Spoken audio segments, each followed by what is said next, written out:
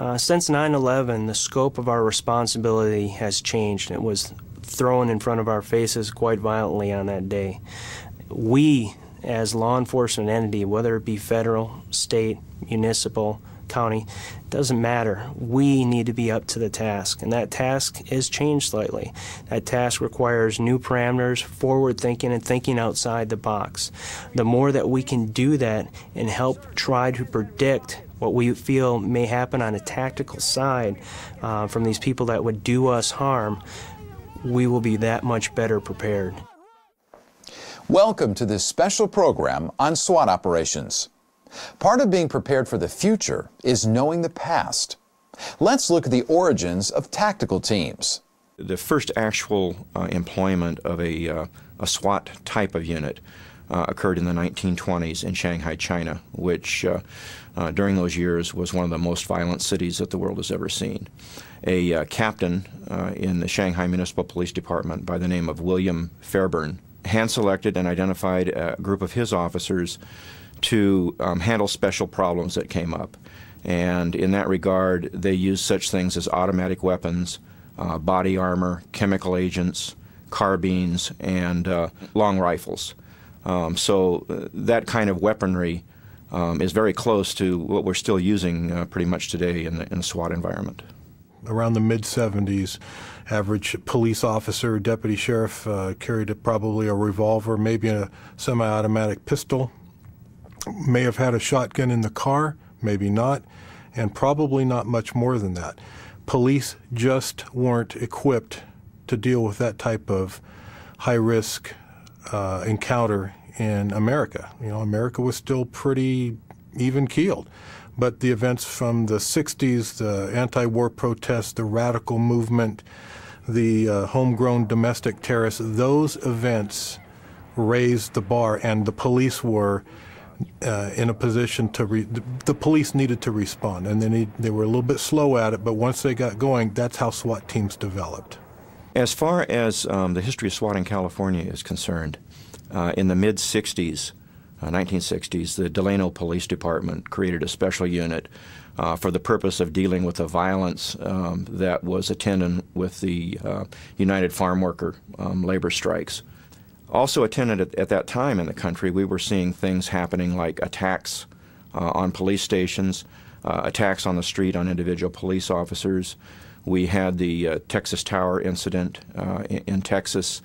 Um, we had the Black Panther shootout uh, in the late 60s in Los Angeles. And uh, society uh, as a whole was suffering at the hands of a lot of violent people. So, based on that, uh, police departments around the country began to look at ways of handling some of these special problems. Uh, and one of those ways was to create a, a special unit. One of the first departments to create such a unit was the Los Angeles Police Department. They called their team SWAT, uh, which stands for Special Weapons and Tactics, although there are many other teams throughout the country that aren't necessarily recognized as SWAT. Uh, they may be called something else SEB, SET, uh, CERT, any, any number of acronyms, but in essence, they all perform the same function. It's Somewhere about the mid 70s, uh, after law enforcement recognized the need for specialized teams, a number of uh, Vietnam veterans and um, other military veterans uh, were employed in law enforcement at the time. These folks were the catalyst or the, uh, the first SWAT team or specialty type team members. They brought with them some military training, some military experiences, and that background helped formulate these specialized teams who were designed to focus on these high risk, high threat events. And from the beginning to where we're at today, SWAT has always become a life saving entity that the community can turn to in the time of need where other people would run away from gunfire. SWAT are the individuals that run towards the gunfire. Negotiations started uh, as a result of work done by the New York City Police Department. It was motivated by a couple of major tragic, very tragic incidents. Uh, the Attica prison uprising in upstate New York, uh, September 1971. The second, of course, again, another uh, internationally famous or infamous event, and that's the uh, Munich uh, hostage taking incident in, at the Olympics in 1972. Once New York City PD got their hostage negotiations unit up and running, uh, it began to spread across the country. San Francisco was one of the early teams to early agencies to adopt and develop a hostage negotiations team that we now call crisis negotiations. Statistics point to the success of SWAT and CNT units in California and across the nation. Since the creation of the LAPD SWAT unit, in over 170 hostage incidents, only one hostage has died as a result of police action. In an ongoing FBI study of hostage barricade incidents, almost 90% are successfully resolved by negotiation and or tactical intervention, and hostages survive over 90% of the time. Despite these successes, SWAT and CNT units must continuously evolve their tactics to conform to changes in the law, technological advances, and societal expectations in order to be ready for future incidents. Well, if you look at the history of uh, the evolution of tactical teams from the 60s and 70s, locally, nationally, internationally, there's a, uh, I think, a kind of a common thread where we have been caught off guard at times. And that's one of the key points about tactical teams being prepared with the proper training so when those unusual incidents come at us, we're uh, better ready to take them on and successfully end them. One of the incidents that uh, kind of shaped our tactics and uh, shaped how we respond to incidents was the uh, 1999 incident at Columbine High School in Littleton, Colorado traditional SWAT response is get there, surround, you know, set up a perimeter. Well, in that particular case, people were dying, so they had to reanalyze everything and went to more of an active shooter situation where small teams will be formed to actively go after the uh, perpetrator. Over the last several years, uh, there have been a couple of incidents that have taken place, major hostage taking events uh, occurring in Russia, again, uh, internationally known.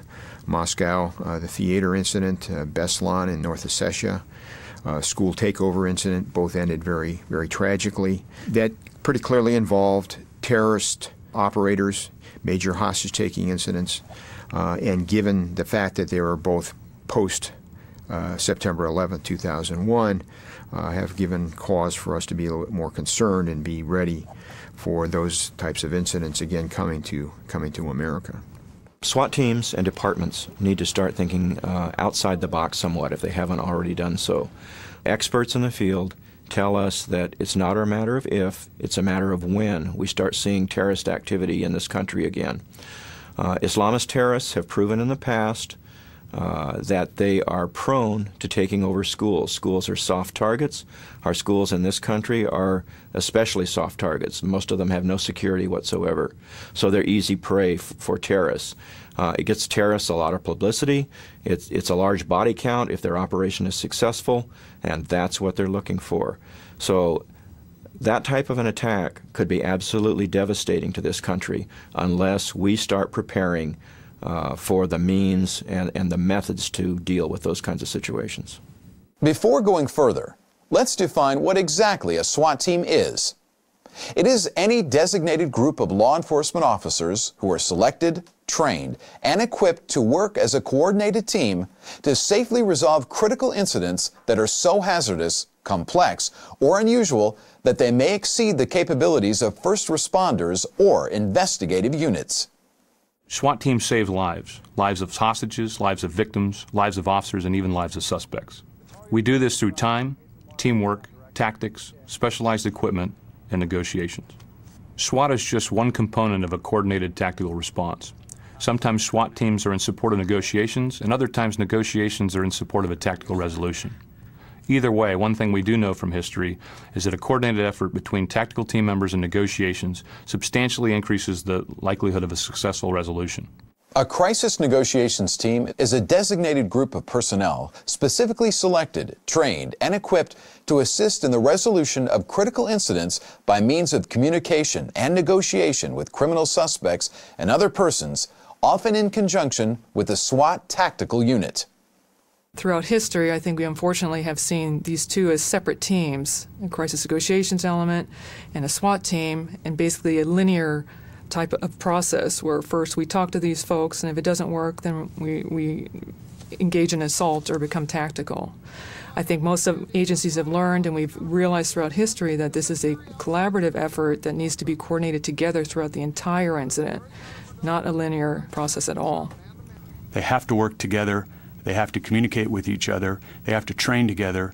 It's critical. If they don't, if they're not working in conjunction and they're working on separate radio channels, they have separate agendas, maybe they don't get along personality wise, uh, you're going to have potential is there for problems.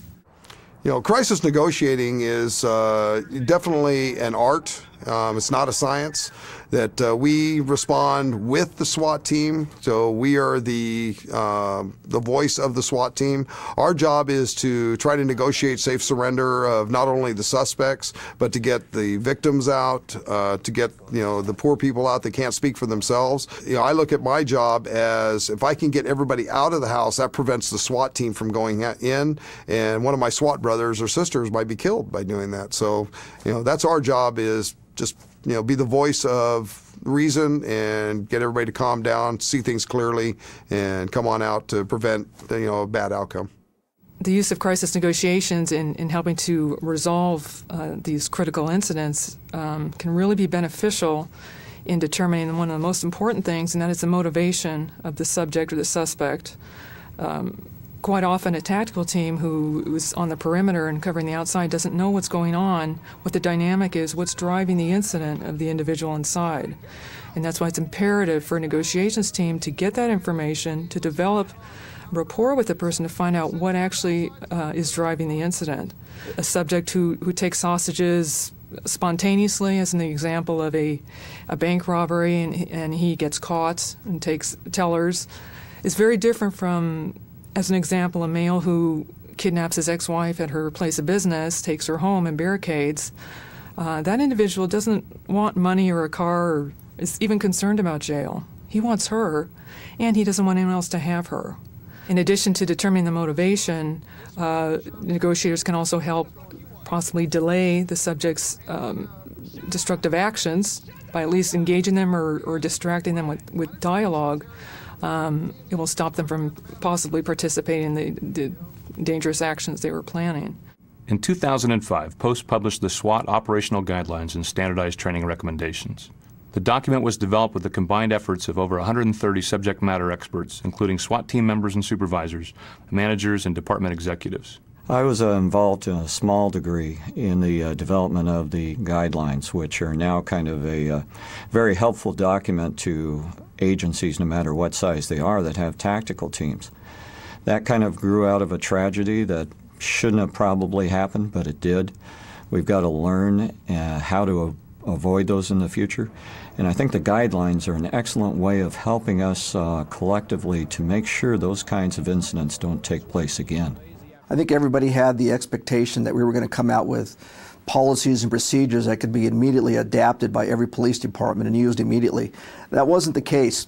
What we actually came up with were recommended uh, guidelines, minimum guidelines. It's still incumbent upon each agency to take a look at those minimum guidelines, determine what their mission in life is. If it's only going to serve high risk uh, narcotic warrants, then you better train for that. But if you're also going to do uh, counter sniping, shooting from airborne uh, vehicles, if you're getting engaged in dignitary protection, uh, things of that nature, well, then of course your training has to increase. Your policies procedures need to develop more aligned with those types of operations. So we just provide the minimum. It's now incumbent upon each department to take those and expand upon them. It should be noted that nothing in the post SWAT guidelines is intended to preclude agencies from utilizing specially trained units in narcotics investigations, felony apprehensions, and other tasks. One of the things we know about critical incidents is they can occur in any city or any town at any time. You could be faced with an active shooter situation, a, a, hostage rescue incident, or even a terrorist event on your next shift. It doesn't matter if you work in a large metropolitan department where you have thousands of officers at your disposal, or you work in a rural county sheriff's office where your backup's more than 30 minutes away. History has proven these events happen everywhere. And since the next big incident could be difficult to predict or forecast, every agency needs to take an all hazards approach to training and preparing to respond to these incidents. In this special segment for SWAT and CNT personnel, we'll cover the following topics. SWAT, CNT, and Incident Command working together, using canines, use of force policy, post incident issues, ongoing training, common errors, and a wrap up segment. This segment is not intended as comprehensive SWAT and CNT training, but merely to provide additional information and point out issues sometimes overlooked by SWAT and CNT personnel.